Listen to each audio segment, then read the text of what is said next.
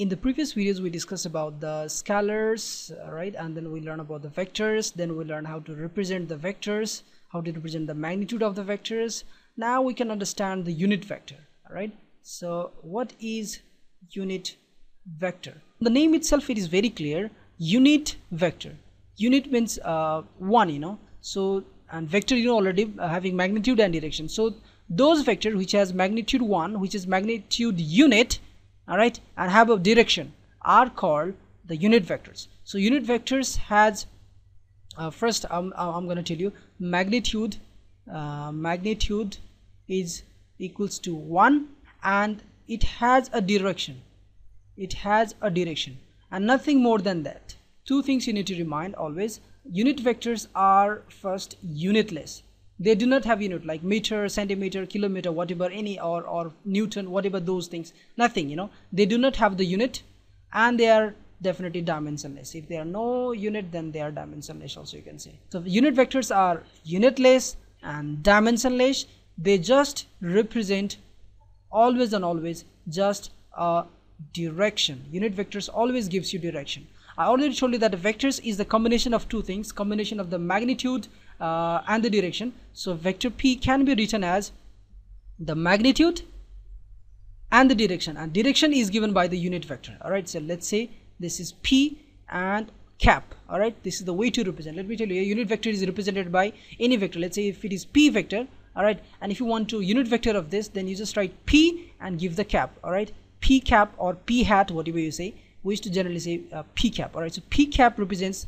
the unit vector of p in the direction of the p all right so unit vector of any vector always gives just the direction and nothing more than that. It's unitless it's dimensionless and it has the magnitude 1 in the direction of that vector p. That's it all right so if this is vector p let's say this is vector p then unit vector uh, the, if this is vector p then unit vector may be like let's say this is one unit distance all right one two three four 5 then it just represent 1 you know. So this this particular having direction all right and you, uh, magnitude is 1 magnitude magnitude is unit. So unit distance and the direction in the direction of the vector p is called the unit vector of the p all right. So here unit vector of p i can write like uh, vector p divided by the magnitude of vector p all right. So this is the unit vector of the p. So whenever you're writing unit vector of any vector uh, then simply write the vector all right? Just write the vector and then divided by magnitude of the vector magnitude of vector all right? So vector divided by the magnitude of the vector is called uh, unit vector all right? That's that's actually that's giving you unit vector. That's it all right? So if i'm writing the unit vector of uh, a then what i have to write? Uh, the unit vector of a is written by a cap and is equals to the vector a divided by the magnitude of the vector a. Sometimes we write magnitude of the vector is uh, magnitude of the vector is simply like a also right? Just if you write symbolically just a that also represents the magnitude right? So this is the unit vector of a. And now let me tell you in cartesian plane if you see or, or in coordinate axis if you see all right? If you have one dimension then you'll just get x-axis and that time we represent the unit vector of let's say this is origin the unit vector of x-axis by i and giving the cap if you have two uh, two dimension i mean you have a plane just like the screen this black screen or your uh, your your table plane or you say the the notebook these all are plane all right? So that time you have y-axis also right? Then the unit vector for the y-axis we give by j and then cap all right? So so i represents the unit vector in uh, in, in x-axis y uh, y-axis unit vector is represented by j cap and if you have the if you have the uh, let's say z axis also all right let's say you have z axis also. And if you have z axis then the unit vector of the z axis is represented by k and giving the cap k cap. So this is uh, this is uh, unit vector in uh, x axis this is unit vector in y axis this is unit vector in z axis all right so if you if you see the see the coordinate then it will be 1 comma 0 comma 0 in 3d if you look all right in in 2d if you see then you don't have to write this third part all right uh, but let's learn into a three dimension all right? So x-axis you are moving one and y-axis zero and z-axis zero all right? So this is this is the position of the unit vector i in x-axis similarly here uh, this point so it will be 0 x-axis 1 y-axis and then 0 all right? Similarly k if you see the position of this unit vector k uh, it will be 0 x-axis 0 y-axis and 1 unit in z-axis all right? So these these are the unit vectors. So when, whenever you're writing vectors any vectors uh, 3d we'll be discussing later. Let's let's tell me uh, let me tell you because at the first i'm telling you 3d then you might get confusion it is better to learn in a plane first all right? So if i have just a plane uh, and in plane you know we we have the two two dimension. One is x-axis and another is y-axis x plane and y plane so uh, x and y you know together it makes a one plane and this is my origin. And let's say here is my point p all right? And then and then and then uh, I'm going to connect this all right? OP let's say this is vector P all right? And the coordinate of this point P let's say this is 2 comma 3 all right? So 2 comma 3 means actually I'm covering first 3 uh,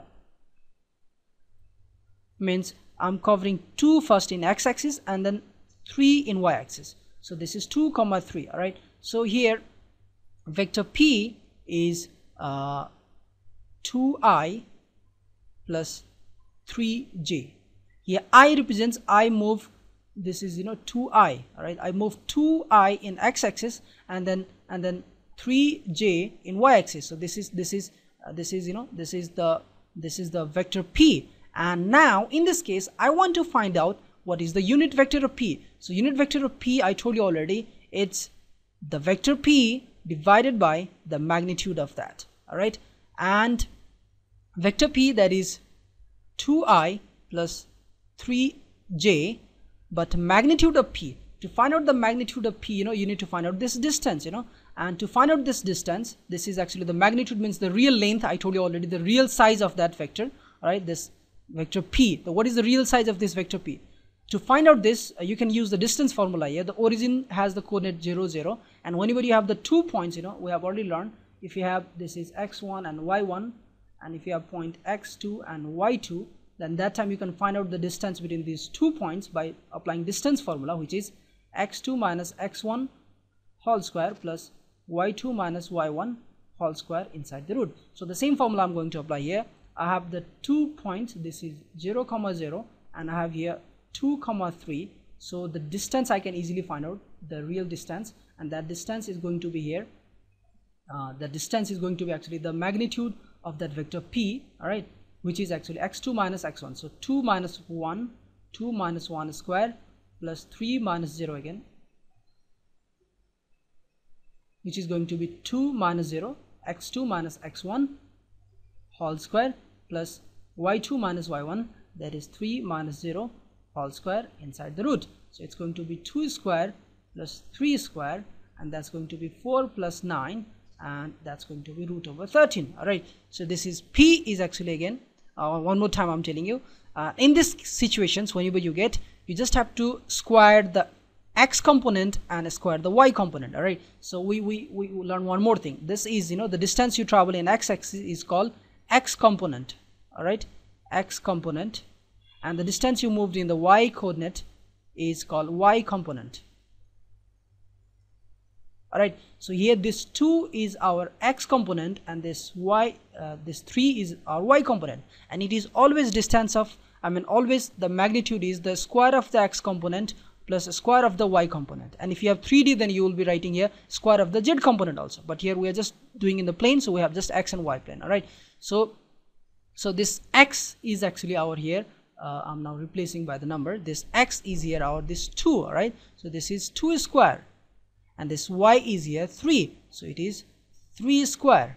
All right so it's going to be now 2i plus 3z uh, over this is 4 and this is 9 all right so this is 4 and 9 under root and this is going to be 13 so this is 2i plus 3j over the root 13 and I will separate it. So unit vector of p is 2i over root 13 plus 3j over root 13 so this is the unit vector of the uh, vector p right which is 2i plus 3j and I told you already that the that the vector unit vector has always the magnitude 1 then you can you can verify also. If you want to find out the magnitude of this unit vector then you can simply square the x component and square the y component. So it will be 2 root over 13 square all right and 3 over root 13 square inside the root all right that's going to be 4 over 13 and that's going to be 9 over 13